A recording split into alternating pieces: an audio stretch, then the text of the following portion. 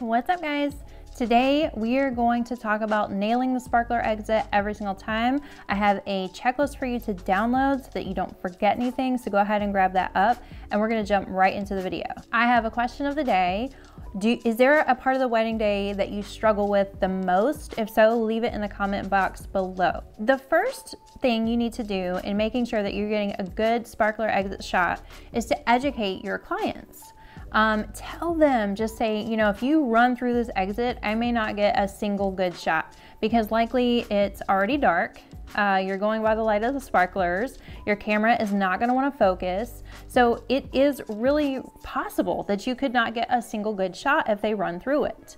Educate them, tell them they need to come through it slowly. If they stop and kiss and look at each other in the middle of the um, crowd, then that's also wonderful. And just tell them these things and give them ideas. And that way they understand what to expect. If they're walking down and they're looking at each other, smiling, kissing every once in a while, then you know you're gonna get some good shots and they know that they're gonna get good shots.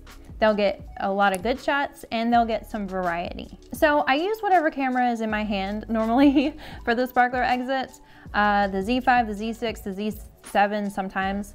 But basically I use whatever camera I have and I will generally use my 50 millimeter lens. Sometimes I use my 20 millimeter and then sometimes I use my 24 to 70. I also use uh, the Gary Fong Snoot. The reason that I use this is because it points the light at the couple. So there's less smoke coming up from the sparklers um, and it won't, the light won't pick that up. So it's darker around the edges and I absolutely love that contrast between the sparklers and not having all that smoke going up. The snoot also provides that pointed direction so that the light doesn't spill onto other people. I love to just highlight the couple and then have that fall off, that really stark fall off. If the couple's in front of a building or something that's uh, ugly or distracting in the background, because a lot of times you really can't control where the sparkler exit's gonna be, then having that snoot is fantastic because the light will not spill and it will not cast shadows from other things onto the building if there's something placed in the background. The stark fall off creates the drama. And to me, it's more of a story. And so you have your main characters, which is your couple, and then you have your secondary characters. So when you have the snoot pointing at them and then you have that stark fall off, then you have your secondary characters, which are the guests, and the light doesn't hit them as much. So it really highlights the couple. Pointing the light also really helps get rid of any sort of distractions that would pull your eye. One thing you do have to I have to caution is make sure that that snoot is pointed at the face and the, the mid section because what I've found is the way my light, um, actually I'll just show you guys. So here's the snoot and what I like to do when I am shooting is I hold a finger so you see how the, the flash, you know, you can swivel the head. I hold one finger underneath it when I'm shooting and the reason is because it points it up just a little bit. If you don't, for some reason, it actually points more towards the ground and that does not look good at all, especially if you've missed their face completely. I like it shooting more higher to the sky. If it highlights the ground, then that's just causing a distraction that you don't really need. This thing is so old and falling apart. Uh, I literally have to hold it on now. Um, I could probably make a snoot out of a cup or something and do better, but I love my Gary Fong. Now, the education part. So the angle that you shoot them, a lot of times I will like to get a wide shot, all the guests and everything as they're coming up the aisle. And if you educate them to come slowly, then you can pull this off. As they come closer, then you can narrow your shot more into basically focusing just on them. So that way you can get them variety during the sparkler exit and they love that. I'm telling you, I've had people hire me based on my sparkler exit shots. Okay, so these are the settings that I start with. As all the sparklers get lit, I may change my settings. Oh, one thing to note, If there are additional light sources coming in that are distracting, you can ask the venue to turn them off if they can. I generally start with ISO 800. You know, a lower ISO helps you reduce the grain, but it also, if you have a high ISO, then you're going to be able to see everything in the background, the people, all of this, that, and you really don't want a lot of distractions. So if you if you have a lower ISO and you focus on the couple with the light, then that's going to what that's going to be what's going to make them pop. I also use a somewhat wide aperture when I'm shooting the sparkler exit because like I said, I like well I like the sparkler exit to match the rest of their wedding, but I also want to focus a lot on the couple. So I use something like f3.2. That's usually my starting point with um, the 50 millimeter and the 24 to 70.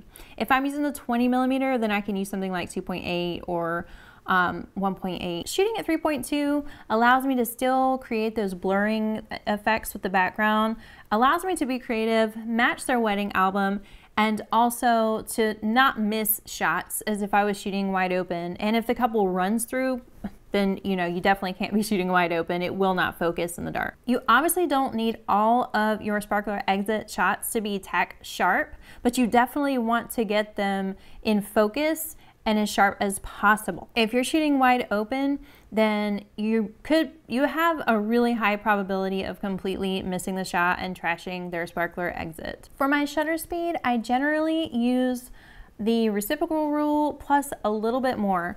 And the reason I do that is because I if they're not running through the exit, then I know that I will get them uh, stopped, not in motion but the sparklers may be a little bit in motion depending on how fast people are, you know, flailing them around.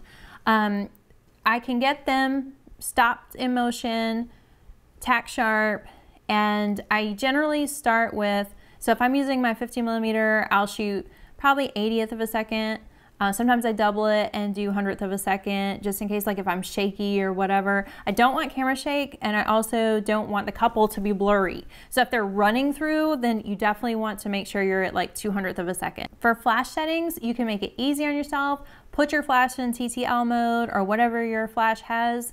Uh, because that will help you to make sure you get a shot.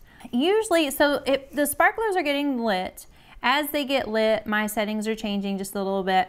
Generally, it is my flash setting that changes. I usually leave all my other settings the same. So, you know, if you have less light, uh, coming at, you know, when they first start lighting them, and then all of a sudden you have like double the amount of light, then you want to make sure that your settings are set to be able to get everything.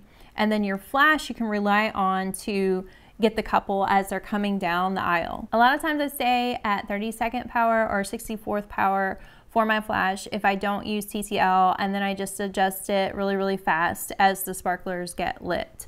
But TTL can be fantastic. One thing to note, so let's say you're using TTL eh, on your flash in a completely different setting and you haven't picked it up in a couple hours. You want to make sure and get a good many test shots so that your camera actually will transmit the data because the sometimes you can pick up your flash and put it in TTL. It's been in TTL and it's going to be programmed to, so TTL means through the lens, but it's going to be programmed for whatever you were taking pictures of before. I know it's really strange, but you want to make sure that it is in sync with what's going on currently. So take a couple shots and make sure that it's ready. Now, oh, one other thing you will definitely want to replace your batteries before the sparkler exit if they weren't just replaced, you know, maybe just a little bit before. And if you've been shooting with it for like an hour at the reception, you definitely want to go ahead and replace your batteries because you want to make sure that you're able to get the shots as fast as you can. Um, and you want to make sure your recycle time is as fast as possible. I have tried my Godox AD200 off-camera flash, which has a much higher recycle time, but what I have found is it just gets in the way and it's bulky and it's too much to set up. A lot of times they'll just pop the sparkler exit on you and you're like, oh my gosh, we gotta go ahead and get it done. So I generally rely on my on-camera flash and that's one time of the day that I actually use it. All right, guys, well, make sure and download the sparkler exit checklist and don't forget to subscribe if this video helped you. Comment below if you have any questions or, you know, whatever your settings are. And I will see you guys next time.